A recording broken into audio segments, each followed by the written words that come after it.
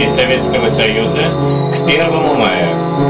Они обращены к советским людям, трудящимся социалистических стран, народам всей земли. В преддверии праздника ЦК КПСС шлет братский привет коммунистическим и рабочим партиям, народам социалистических стран, рабочему классу капиталистических государств.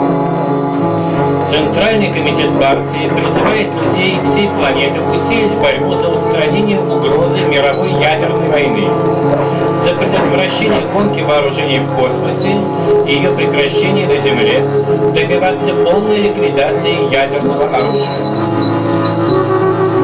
Призывы ЦК КПСС концентрируют внимание советских людей на ключевых направлениях нашей работы.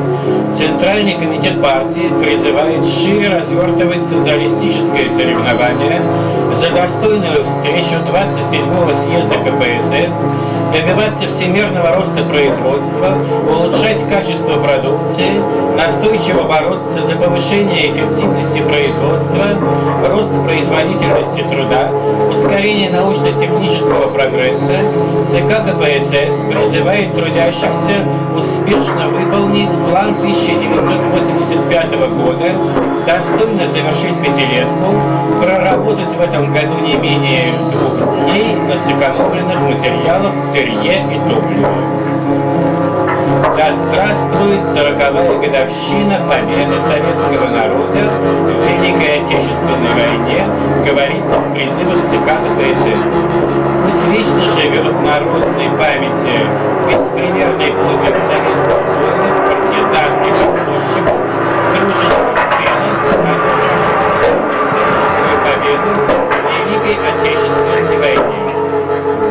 Вечная слава павшим в борьбе за свободу и независимость нашей социалистической Родины. ЦК КПСС призывает советских людей под знаменем Ленина, под руководством коммунистической партии идти вперед к новым победам в коммунистическом созидании.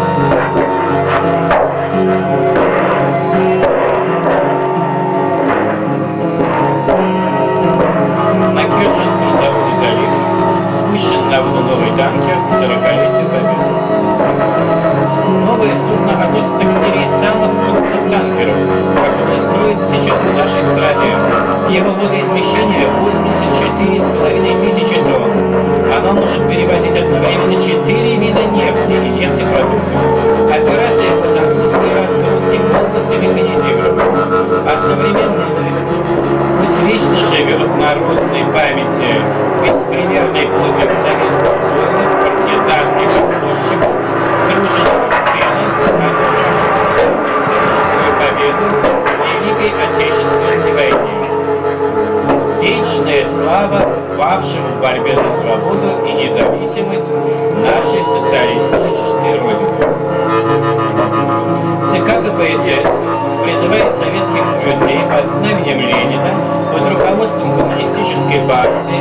идти вперед к новым победам в коммунистическом созидании.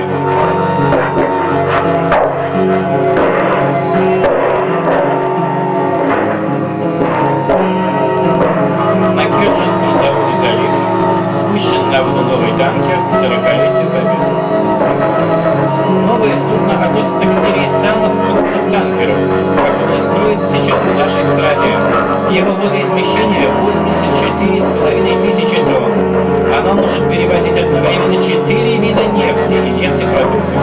Операция по загрузке и разгрузке полностью механизирована, а современное навигационное оборудование обеспечивает безопасное плавание в сплошном тумане или при сильном шторме в океане. И вот он медленно заполняется водой, и огромный корпус корабля оказывается на плаву. Коллектив завода выполнил один из важнейших пунктов своих обязательств в честь юбилея Великой Победы. На киевской из Узбекистана поставлено рабочее колесо пускового агрегата мощностью 110 тысяч киловатт. Ответственный конструктивный узел будущей электрической машины, которая скоро примет на себя набор полного потока, весит 105 тонн. По размаху лопастей 6 метров. Изготовитель производства Харьковский турбинный завод. Сборку этой сложной части агрегата успешно провела бригада ветерана энергетических строек Михаила Завьялова с Северокавказского управления «Союз Треснов». Гидроэнергомонтаж. Около трех часов понадобилось автопоезду, чтобы доставить рабочее колесо гидроагрегата станционного узла на левый берег Сулака. Эти часы и те немногие дни напряженного труда, которые затрачены монтажниками для предварительного выполнения, стройки почти два месяца. Свою первую правду нефтеразличная экспедиция задействовала на пусковой лодочный отдел немного более полугода назад. Почему именно эта структура поставила военно-станцию космической разведки, показывает перспективу района? Несколько месяцев назад из Узумской площади, это километров на 100 севернее, был выложен нефтяной фонтан. Апрельский репортаж показывает, как в сложных условиях приходится кислым работать. Бесполярную зиму мороза достигали 54 градусов. Состояние раствора доходило до критических температур. И все-таки буровая не останавливалась. Впервые приходится работать Новосибирска в условиях личного разлака. Несмотря на небольшой опыт работы на севере, рассчитывая при завершении прокладки километровой скважины, результат нефть. Вам это посмотрит, приближается на изыскание. Сейчас 12 километров километров буровой закладывается еще одна скважина. Должно означать место будущего работы. На состоявшихся встречах ЦК КПСС обсуждались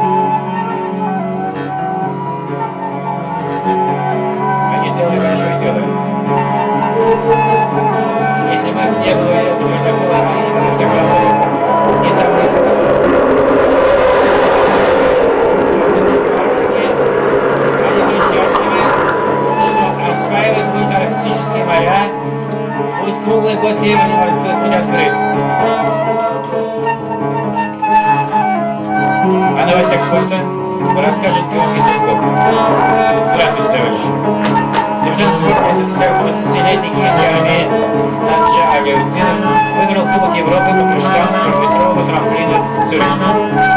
Сегодня в двух олимпийских столичных залах начались международные соревнования. Дворец спорта Измайлова принимал участников состязаний по акробатике.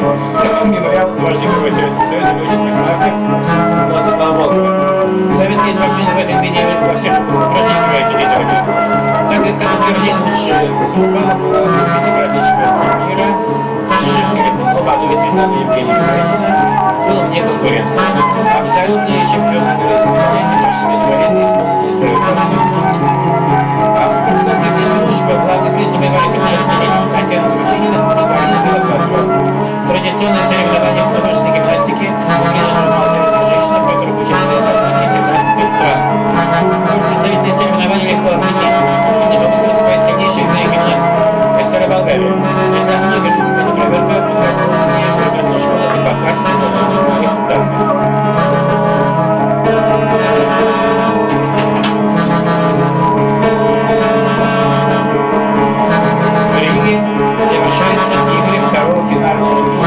чемпионата СССР по баскетболу женских команд. Лидер Динамо Новосибирска выиграли сегодня на 59-53. Каждый матч проходит по встречной борьбе. Достаточно, конечно, преимущество победителей часто всего одно или два очка. После неожиданного поражения горизонты сибирячки построили и это принесло успех уже в первом тайме, 11 очков преимущества. Во втором тайме спортсмены КТТ уже не смогли противостоять атакам Динамо и проиграли 26 очков. Новосибирский Deus.